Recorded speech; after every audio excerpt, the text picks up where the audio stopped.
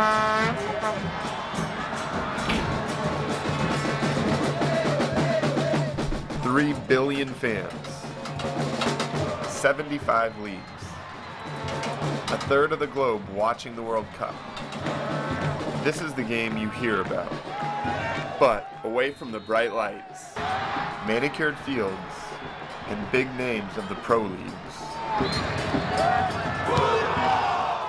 there's another side to the game.